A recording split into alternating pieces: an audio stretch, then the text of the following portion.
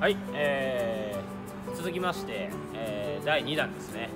第1弾はあのーちょっとさっき動画撮ったんですけどまあちょっと難しかったかもしれないですね、えー第2弾はねちょっと簡単にしておくのでまあ頑張ってやってみてください。じゃあやっていきましょう。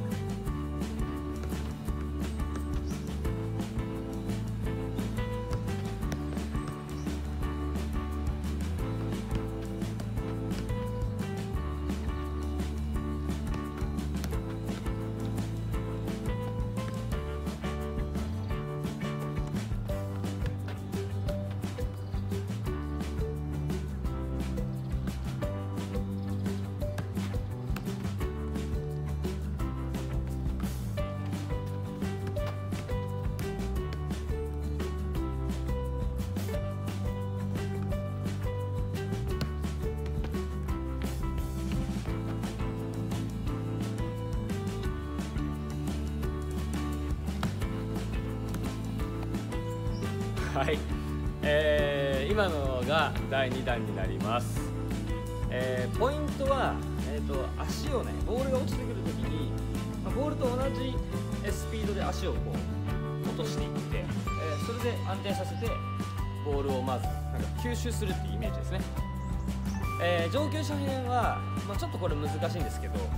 この胸のところにスッと収めるという。まあ、そんな表現しかできなくて申し訳ないですけど、えーそれがポイントになってます。はい、でねあのちょっとこれ僕いろんなことをイメージしてて多分ですけど今家でお父さんとかお母さんがあのちょっと暇だし家の前で練習してきなさいとか家でそこで練習しなさいって言ってそういうのやってくれてると思うんですがそれを言ってるね親もやらせますはい。あの子供だけじゃなく親もやらせたいと思います。なのでちょっと緊急企画で、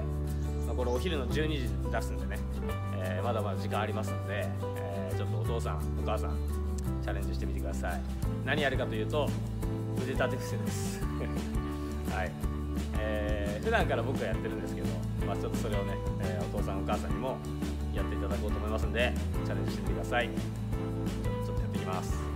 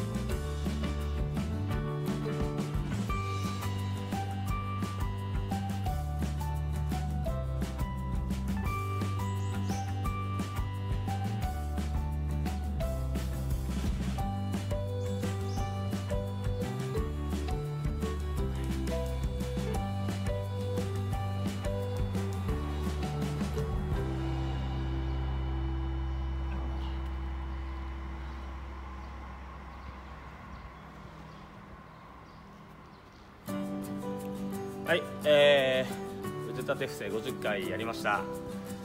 まあ、きついっすね。えーまあ、大人もね、あの運動不足になってしまうかと思いますので、普段やらない筋トレとか、えーこれを機にね、やってみてはいかがでしょうか。はい。で、今回のプレゼントは、えー概要欄の方に載せておきます。はい、あのーまあね、子供から大人までみんなで楽しめるように、え引き続き、えやっていきましょう。ありがとうございました。